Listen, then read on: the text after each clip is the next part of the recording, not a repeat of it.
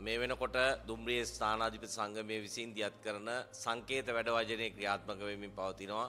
පැය විසි අතරක කාලයකට තමයි අපි සංකේතාත්මක මේ වැඩවජනය කරන්න හේතුවන ඊයේ දිනේදීම මාධ්‍යමකින් දැනුවත් කළා. දුම්රිය දෙපාර්තමේන්තුවේ ආදායන් උපයන තැනට අදාළ කටයුතු සිද්ධ වෙන වාණිජ උප දෙපාර්තමේන්තුවේ ප්‍රධාන තනතුර නුසුදුසු පුද්ගලයෙකුට ලබාදීමට එරෙහිවයි අපි මේ කටයුතු කරන්නේ අමාත්‍යංශ ලේකම්වරයා අමාත්‍යවරයා මේ පත්වීම සිදු නොකරන ලෙස දන්වා සිටියදී පවා අමාත්‍යංශ ලේකම්වරයා නිර්දේශ ලබා දීලා මේ කරන ක්‍රියාවට විරුද්ධව තමයි අපි මේ සංකේත වැඩ කරන්නේ. අමාත්‍යංශ ලේකම්වරයා තමන්ගේ තනි මතයට මේ කරන එකට අපි අපේ විරෝධය පළ කරනවා. අපි කිසිදු විදියකින් කියන්නේ මේ තනතුර පුරප්පාඩුව තියන්න කියලා. දක්ෂ නිලධාරීන් විදායක නිලධාරීන් ගණනාවක් ඉන්නවා මේ තනතුරට පත් කරලා. දෙපාර්තමේන්තුවේ මේ මූල්‍ය පාඩු අවම කරගෙන යන්න පුළුවන් තත්ත්වයට ගේන්න. නමුත් එහෙම තියෙද්දී මෙවැනි දෙයක් කරන්නේ දුම්රිය සාමාන්‍ය අධිකාරිවරයාට කාගේ හෝ බලපෑමක්ද කියන ප්‍රශ්නය අපිට තියෙනවා. අපි බලාපොරොත්තු වෙනවා මේ පත්කිරීම මේ මොහොතේදී අවලංගු කරලා වෙනත් සුදුසු පුද්ගලයෙක් පත් කරන්න කටයුතු කරයි කියන විශ්වාසය අපි අතර තියෙනවා. අපි බලාගෙන ඉන්නවා අග්‍රාමාත්‍යතුමා මේ ප්‍රශ්නයට මැදිහත් වෙයි කියලා.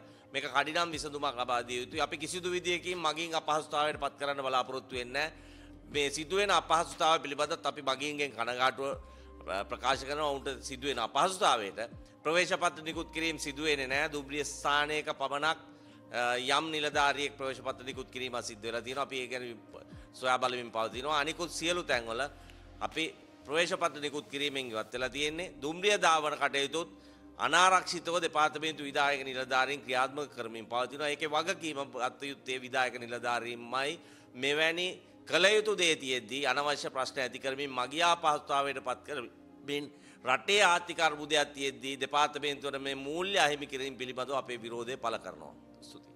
මේ ඇත්තටම අපි දැක්ක දැන් උඩ මරදාන තුමුල් ස්ටේෂන් එකට ගියාට පස්සේ මේ ගම් පහ ඒ වගේ එක එක ස්ටේෂන් වලින් ටිකට් ඉෂුව කරා කියලා මගින් පෙන්නනවා.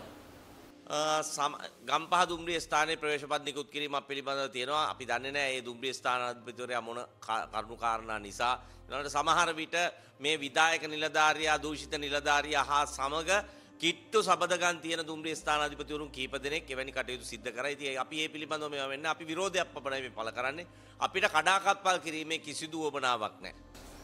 මේ මේ තුලින් මේ රජයට කොච්චර පාඩු වෙන්න පුළුවන්ද මේ මේ වගේ අවස්ථාවක? ඉතින් මේ පාඩුවේ වගකීම දැරිය යුත්තේ දුම්රිය සාමාන්‍ය අධිකාරිවරයා. ඔහුට මේක පිළිබඳ තීන්දුවක් ගත හැකිව තියේදී ඔහු නොගන්න එක අමාත්‍යංශ ලේකම්වරයා ඒ තරම් බලධාරියෙක් විදිහට සලකනවා නම් අපි කොයි මොහොතේවත් කියන්නේ ඔහුට වඩා සුදුසු නිලධාරීන් ඉන්නවා ඒ නිලධාරියෙකුට දෙන්න කියන එක තමයි අපේ යෝජනාව. ඒ කියන්නේ දැන් මේක ඉවර වෙන්නේ අද අද රාත්‍රී 12ට අපි මේ වර්ජනයේ සංකේත වර්ජනයක් අපි ක්‍රියාත්මක කරන්න එකෙන් ඉවත් වෙනවා.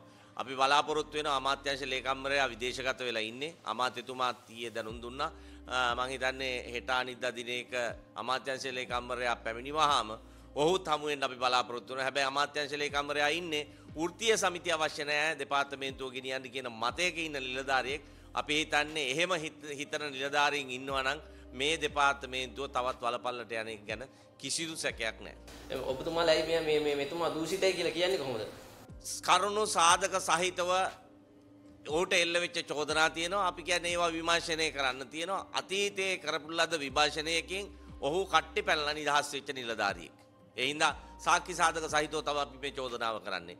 මෙතන ප්‍රශ්නයක් තියෙන්නේ මේ වාණිජ උපදෙපාර්තමේන්තුවේ උපතනතුරක ඉද්දී අද විශ්‍රාම ගිය රජයේ සේවකීන්ට ආසන වෙන්කිරීමේ ක්‍රමවේදයේ යටතේ ගන් හඳුන්වා දෙන්න හදපු ප්‍රවේශපත්‍ර වෙන්කිරීමේ කටයුත්තත් අත්හිටවන්න කටයුතු කරපු නිලධාරියා මේ. ඒ නිසා වසරකට මිලියන ගානක පාඩුවක් දෙපාර්තමේන්තුවට කරමින් පවතිනවා. මහින්ද අමරවීර අමාත්‍යවරයා අමාත්‍ය ප්‍රවාහන අමාත්‍යවරයා ඉන්න කාලේ සිදුවෙච්ච සිදුවීමක් තමයි මේ කියන්නේ අතීතයේ ඉඳන්ම මේ නිලධාරියා දෙපාර්තමේන්තුවට පාඩු තමයි සිද්ධ කරලා තියෙන්නේ. ඔහු ඉහළ පුටුවට ආවහම තවත් මේක දෙගුණ තෙගුණ වෙනවා මිසක් අඩු වෙන්නේ නැහැ. ඒකයි අපේ බරපතල චෝදනාව විදිහට අපි යොමු කරන්නේ.